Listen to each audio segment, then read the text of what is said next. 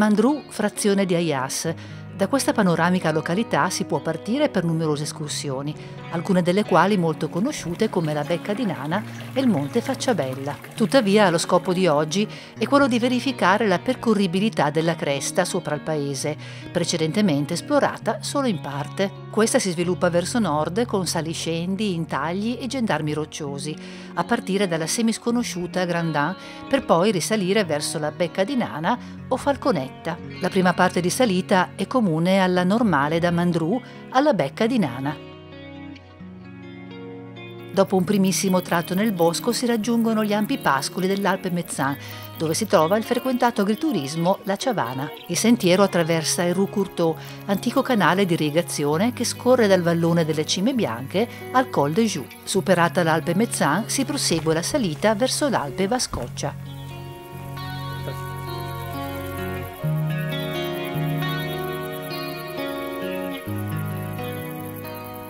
Non è necessario toccare la cappella di Notre-Dame de Montagnard, che viene lasciata sulla destra. All'Alpe Vascoccia si incrocia la strada, poco dopo il sentiero si biforca. Il ramo di fronte, numero 3, sale al Colle Vascoccia, quello a sinistra, il 3A, porta verso la becca di Nana.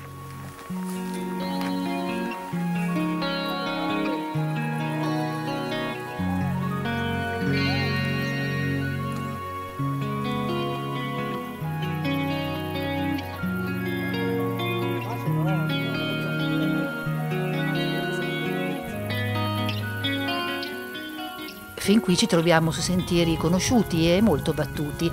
La Falconetta è un 3000 alla portata di molti, su cui ogni agosto viene celebrata una messa. Superata l'ultima sorgente e raggiunta questa conca, ci apprestiamo ad iniziare l'avventura. Priva di alcuna segnalazione, qui parte infatti una debole traccia che lascia la conca verso sinistra.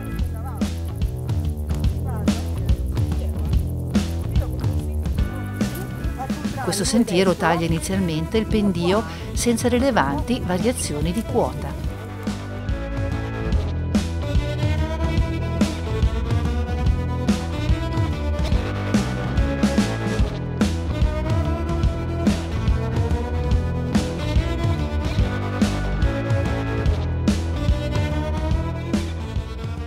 Una volta raggiunto un falsopiano erboso con grandi massi, ci troviamo proprio sotto la Grandin. Qui inizia anche la vera salita. Non esiste un sentiero e solo saltuariamente si incontrano alcuni ometti di pietre che aiutano a procedere tra prato e pietraie.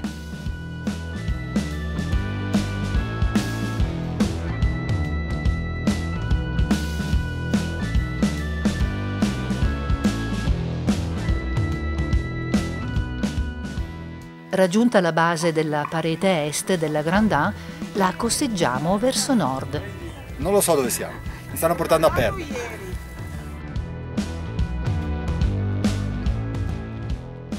Esaurita la parte più ripida di salita, puntiamo verso un avvallamento nella cresta, a nord della Grandin. L'avvalamento è un'inattesa valletta nascosta, perpendicolare alla cresta. Percorriamo dunque la valletta, ma prima che questa sbuchi in Val Tournanche, risaliamo il pendio a sinistra per riportarci in cresta. Una femmina di stambecco ci osserva. Gli umani che salgono quassù sono ben pochi. Davanti a noi la cresta, inizialmente larga ed erbosa, conduce alla Grandin. Dal lato opposto, invece, la stessa cresta si sviluppa ben più frastagliata in direzione della becca di Nana. Il prossimo passo, comunque, è raggiungere la Grandin. Un grosso metto di pietre identifica l'anticima nord.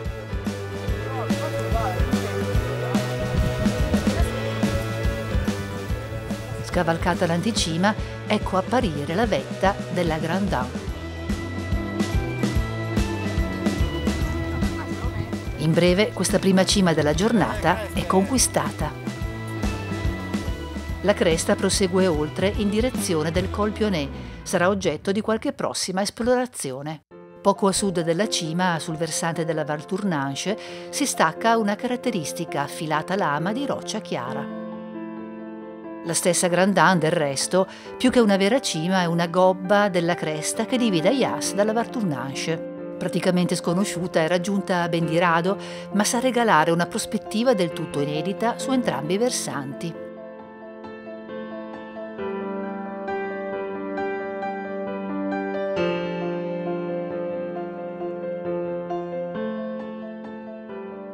Ora, nascosta tra le nubi, la lunga cresta verso la falconetta ci aspetta. Lasciamo quindi la Grandin tornando sui nostri passi.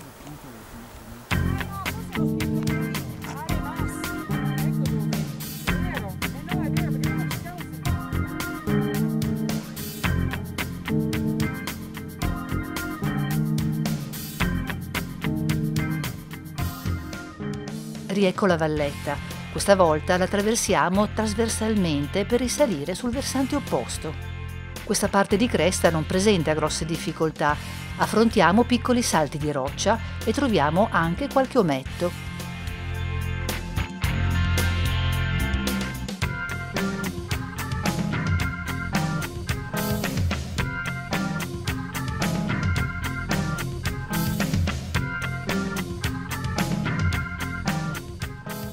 Anche questo grosso gendarme è meno impegnativo di quanto sembri.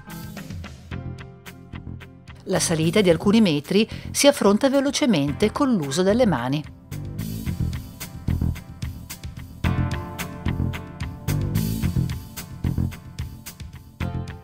La sommità è una crestina rocciosa piuttosto affilata ma facile da percorrere.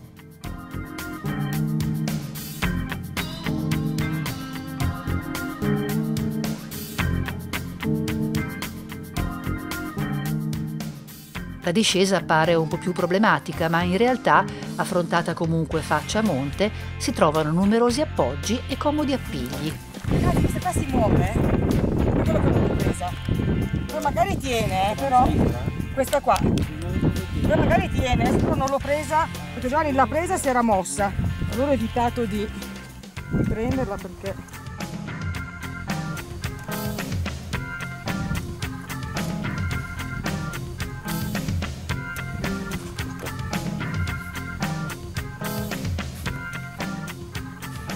diritto qui? Sì, giù giù giù. Ancora ancora. 5 cm più sinistra. No, no, lì no, a sinistra, ok.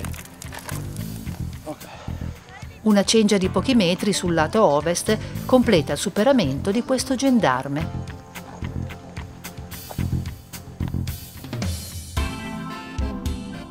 La cresta prosegue poi con una sequenza di saliscendi senza difficoltà, nonostante qualche breve passaggio un po' più esposto.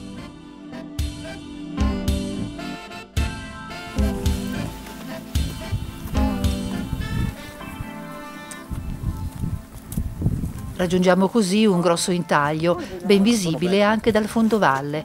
In una precedente esplorazione siamo arrivati fin qui. Da qui ci muoviamo su terreni nuovi. Abbiamo però capito che l'intaglio si può superare facilmente scendendo fino al fondo e risalendo poi sul versante sinistro. La salita si svolge su terreno finemente detritico, non proprio agevolissimo. Da sotto sembra di vedere qualche traccia di passaggio, ma si tratta quasi certamente di segni lasciati dagli animali. Magari taglia più verso giù. È sufficiente comunque salire in diagonale cercando di non smuovere troppi sassi e puntando nuovamente verso la cresta.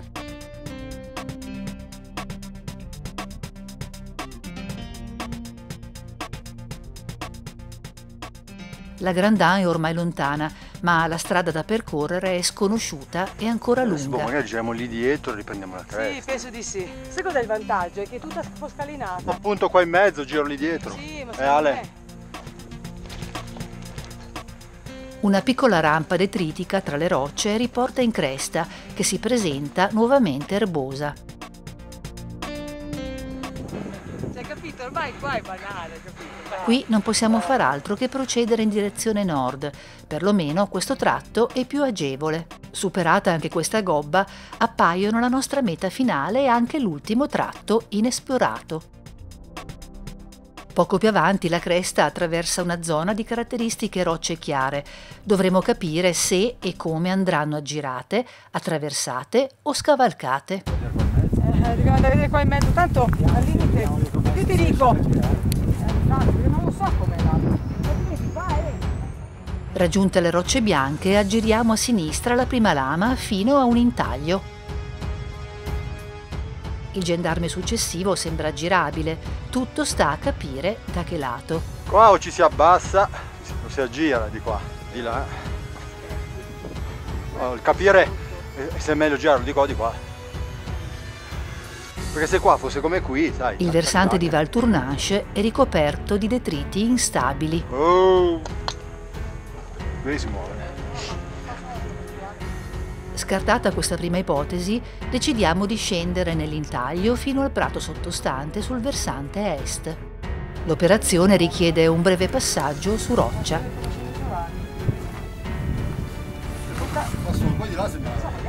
È molto più sfasciumato, sì. Qua? Di là. Là?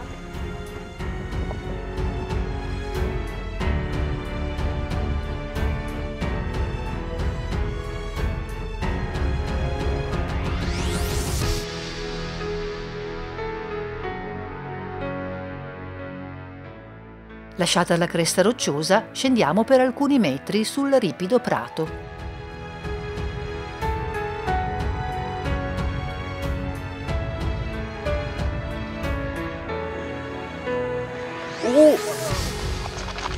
Nella conca sotto di noi passa il sentiero più comune per raggiungere la becca di Nana.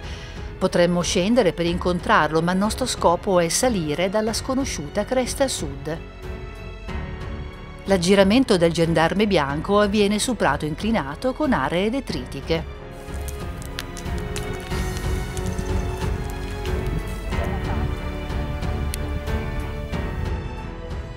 Superato il gendarme, risaliamo per portarci ancora una volta in cresta.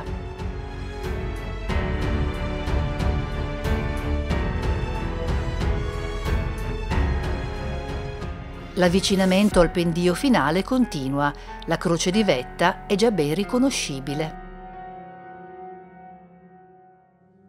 Qui la cresta si stringe nuovamente, costringendoci a qualche altro piccolo passo su roccia.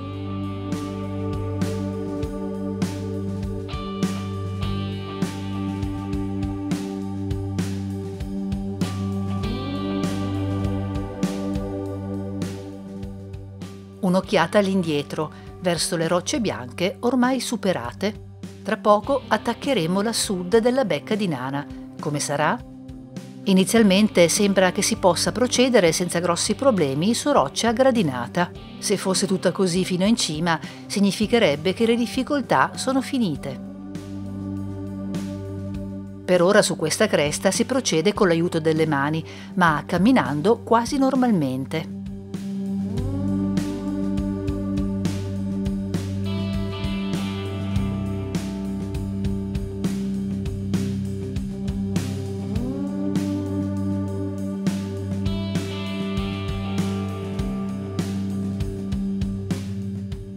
Ultimi metri di salita. Ecco apparire la croce. Sicuramente non siamo stati i primi, ma senza documentazione, senza sentieri e soprattutto senza la certezza che fosse possibile, abbiamo raggiunto la nostra meta. Possiamo guardare dall'alto ancora una volta la via percorsa. In vetta, oltre alla croce metallica, si trova un piccolo altare eretto in memoria di un gruppo di alpini vittime di un incidente nel 1954.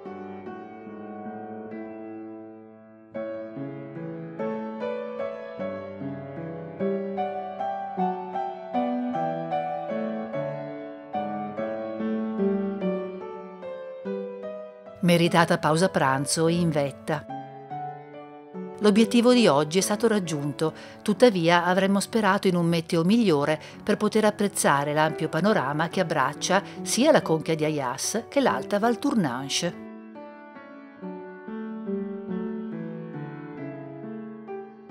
A nord spuntano a tratti il Bec Trecare, i Tournalin e la cima sud della Roisetta.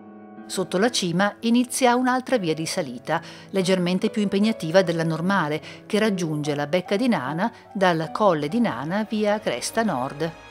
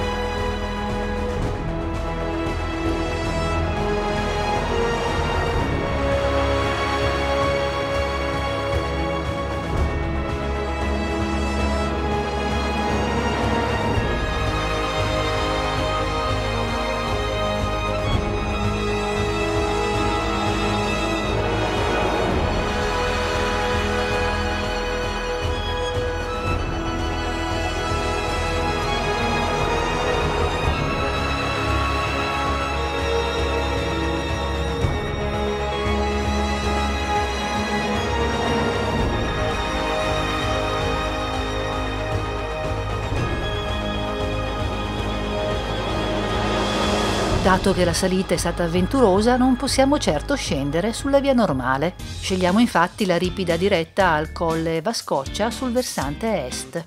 Inutile dire che nemmeno qui ci sono tracce, tuttavia si trova qualche ometto. Tanto per cambiare, il prato è molto scosceso.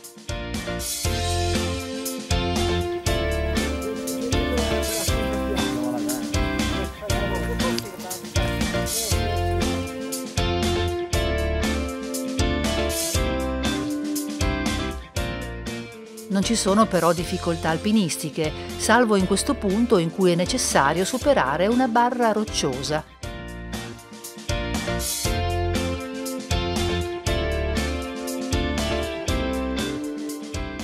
Faccia a monte e con la necessaria cautela ci caliamo lungo le rocce.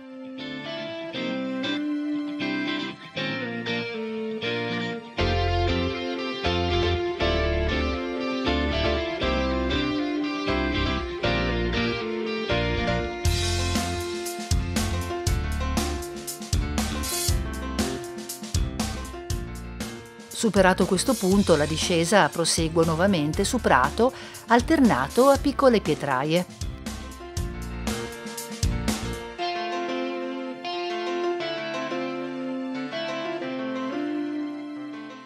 La discesa è stata lunga, oltre 440 metri di dislivello e non veloce a causa della natura del terreno, ma ecco finalmente il colle Vascoccia.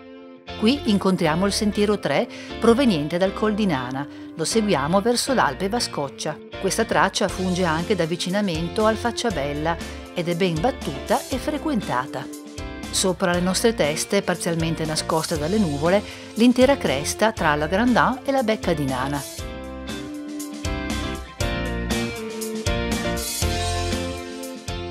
Con l'arrivo all'Alpe Vascoccia chiudiamo l'anello di oggi.